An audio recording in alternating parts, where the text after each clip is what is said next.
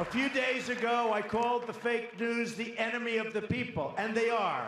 They are the enemy of the people.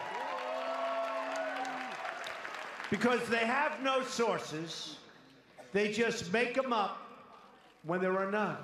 They're very dishonest people. In fact, in covering my comments, the dishonest media did not explain that I called the fake news the enemy of the people, the fake news.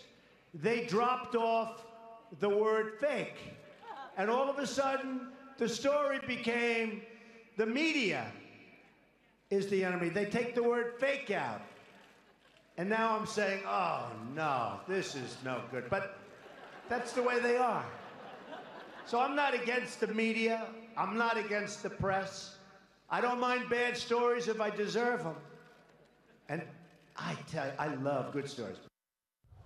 See, we heard from the president this morning, and he doubled down on his tweet from just a couple of days ago, essentially saying the media is the enemy of the American people. His uh, chief strategist this time yesterday calling the media the opposition party over and over.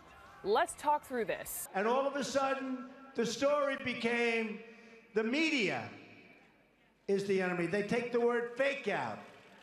The media is the enemy of the American people. And all of a sudden, the story became the media is the enemy. They take the word fake out.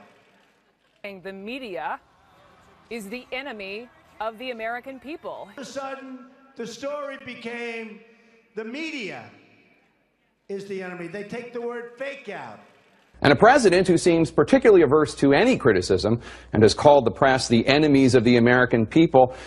The story became the media is the enemy. They take the word fake out. President who seems particularly averse to any criticism and has called the press the enemies of the American people.